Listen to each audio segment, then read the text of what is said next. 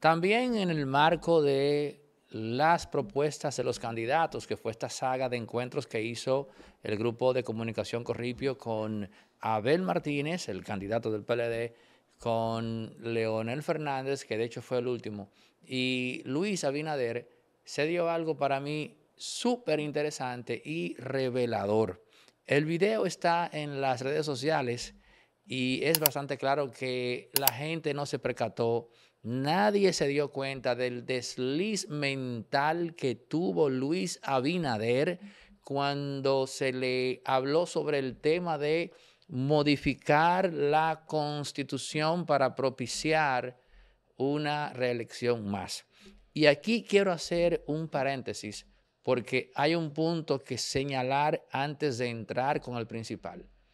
Me he percatado de que nadie ha hablado en dónde radica en verdad el tema del peligro de modificar la constitución de cara a una segunda reelección o a simplemente habilitar a Luis Abinader para que pueda volver más adelante. Y radica simplemente en el hecho de que entrando en vigor una nueva constitución, ya no existe entonces un marco constitucional con el cual contabilizar los dos periodos de Luis Abinader, es decir, los dos periodos que ya se consumaron. Cuando entre una nueva constitución, por arte de magia, Luis Abinader podría perfectamente aplicar a dos periodos consecutivos más, bajo el alegato de que la ley no es retroactiva. Es un fantasma que ha estado habilitando en República Dominicana desde los tiempos de Horacio Vázquez y quizás antes de. Dicho esto, cuando el presidente pasó a negar que él tuviese interés en modificar la constitución, el hombre dijo, yo lo que tengo que hacer es, y ahí, percatándose del error que cometió, sencillamente recogió sus palabras y habló de que en el PRM hay todo un caudal de talento joven. Evidentemente lo que el presidente iba a decir era, yo lo que tengo es que seleccionar al prospecto. Yo lo que tengo es que seleccionar adecuadamente a la persona que me va a sustituir, a mi sucesor, a mi delfín. Pero recogió las palabras ya tarde, porque al menos un servidor, dicha esta secuencia, yo lo que tengo es que seleccionar, y no terminó de decir la palabra seleccionar Ahí el hombre se devolvió y comenzó a hablar entonces del talento del PRM. Cuando usted analiza esa parte que él no culminó, con el hecho de que inmediatamente después habló de, del talento del PRM, el sentido que hay en todo esto es que él se estaba refiriendo a seleccionar, seleccionar el talento que él entienda que lo va a sustituir o que tiene el perfil para eso. Naturalmente, sería un error de un, bueno, de un presidente o del líder de un partido en decir públicamente o al menos de conocimiento público en esa organización, Juancito Pérez es el que me va a sustituir. Porque inmediatamente usted hace eso, se está restando adeptos. Estoy hablando de aquellos que entendían que tenían que ser ellos y las personas que están en el entorno de cada uno de esos candidatos. Es una regla básica del poder. No crea que por el hecho de que Juancito, Juancito González la rompa, se está ante una acción disruptiva, ante una estrategia eh, brillante. No, se está ante una estupidez. Usted no puede decir que fulano de tal es el que me va a sustituir.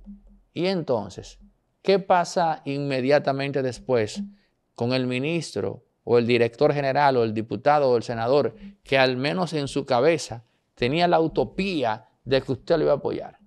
Ahí usted tiene un problema. Ese es posiblemente un enemigo suyo. O se convierte en lo adelante en un enemigo del presidente.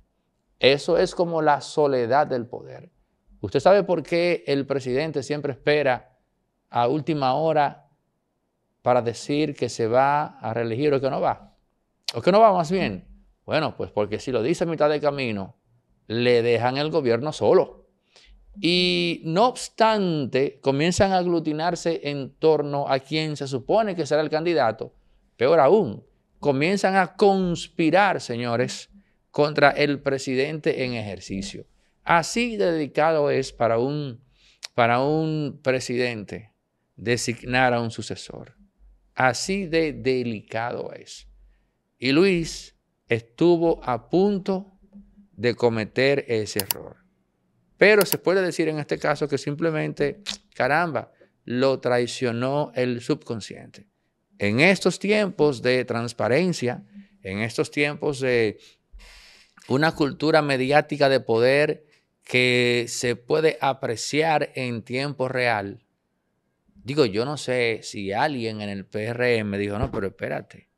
O sea que ya Luis Abinader está buscando su sucesor. Bueno, en todo caso hay que decir que lo que opera aquí es que no se diga el nombre de quién es. Porque eh, el hecho de que los haya que entiendan que él está buscando quién ha de ser, obliga básicamente a que estos se pongan en fila, como se dice en buen dominicano, donde el capitán los vea. Quiero sus comentarios sobre este desliz del presidente.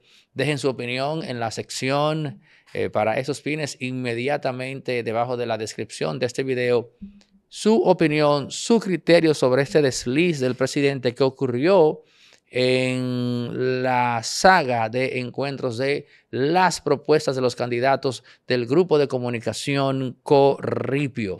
Voy a leer eh, sus comentarios y siempre es edificante encontrarnos con algo eh, que, caramba, que den la diana y que incluso a uno como analista le ayude a robustecer su criterio. Gracias por llegar hasta esta parte y nos encontramos en el próximo. Lo que todos quieren es más tiempo para ganar. Lotedom, la lotería que todos quieren. Sorteos todos los días de 5.55 a 6 de la tarde.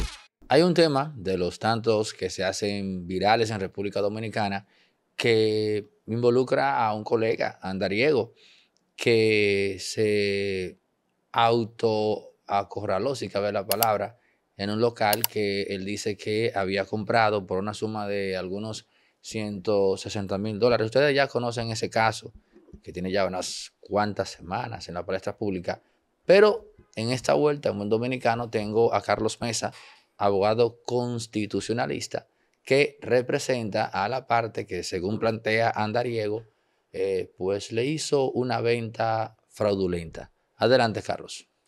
Muchas gracias, Aneudi, gracias por la oportunidad de hablar a través de este medio y qué bueno que nos dé esta oportunidad para que también nuestra campana sea escuchada. Adelante. Bueno, eh, tal y como tú dices, eh, este caso de Andariego es un caso que se ha hecho viral en todos los, medios de comunicación y redes sociales.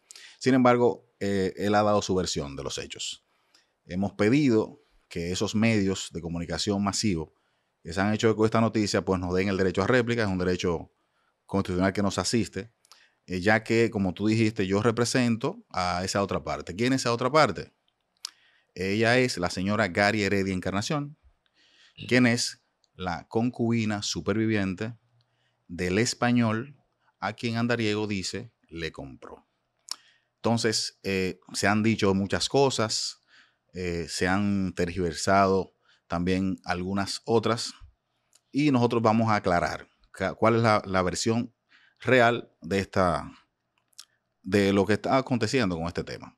Mira, lo primero es que nosotros teníamos un acuerdo eh, previo, un acuerdo de, se puede decir, de caballeros eh, entre abogados y ambas partes, que lo hicimos precisamente el 25 de febrero eh, ante la fiscal, en presencia de la fiscal de la zona colonial. Recuerda que él dice que fueron donde una fiscal, sí es correcto, fuimos donde una fiscal ese día, lunes, y ahí quedamos en un acuerdo previo de que cada parte iba a depositar su documentación y eh, ese proceso iba a ser eh, enviado al abogado del Estado. Así se hizo, pero se hizo un acuerdo en el cual ninguna de las partes debía ir a ningún medio de comunicación.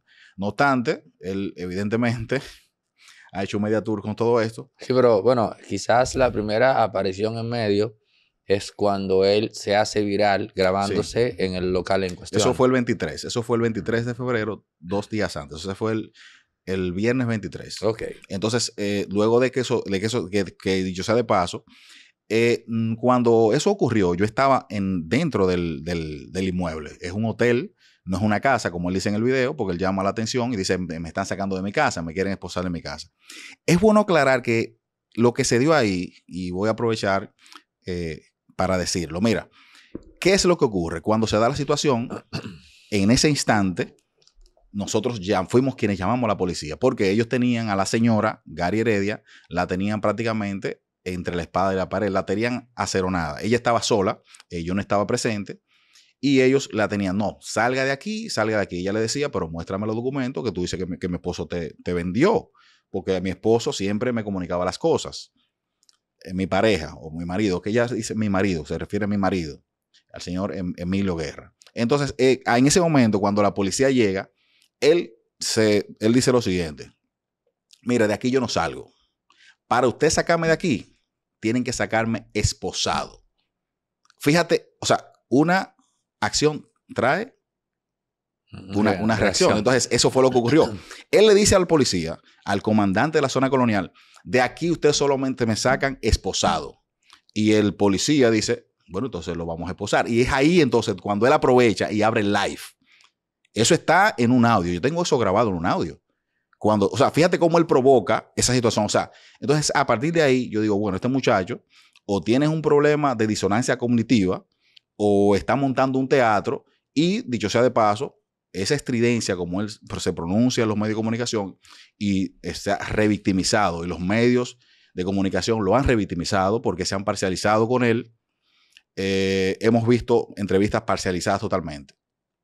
Yo digo que aquí hay una crisis de lo que es el periodismo de investigación. Hay una crisis y eh, ojalá, ojalá, y eso se pueda rescatar.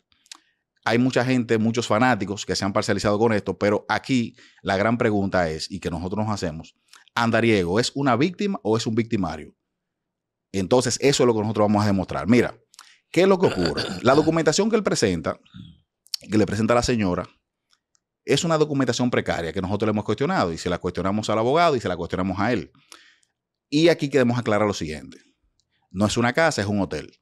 El valor que él dice que compró no se corresponde con la realidad ni con la tasación de ese inmueble. ¿A cuánto compró y cuál es el valor real según tu planteo? Según, el, según, según la última tasación, que tenemos una tasación preliminar de un arquitecto de la zona, esa, ese inmueble está rondando los 800 mil dólares. Entonces, cuando tú me dices a mí que la compraste en 160, evidentemente que hay una situación que dispara las alarmas. Pero, eh, hermano, te voy a confesar algo. Tú sabes que es lo más grave de este caso, que él no tiene un título de propiedad. ¿Qué es lo que él presenta? Él presenta una constancia anotada a nombre de una empresa offshore. Resorte Media es también productora audiovisual y aquí tenemos espacios eh, rentables para producir contenido pero también si tu empresa tiene una actividad fuera y va a hacer una transmisión en tiempo real, puedes contar con Resorte Media. También si necesitas alquilar equipos para filmaciones de películas o eventos, tenemos grúas de 40, 20 pies. En fin, otra cosa, artista independiente que tiene que hacer un videoclip en calidad 8K 6K eh, con imágenes eh, de stock, bueno, pues lo podemos hacer acá en circuito cerrado con los presupuestos más competitivos. Pero si también eh, requieres asesoría para la producción de contenidos en plataformas como YouTube, también puedes contar con nosotros. Resorte Media, todo lo que necesitas en todos los ámbitos cuando se trata de producción audiovisual. 829-741-361.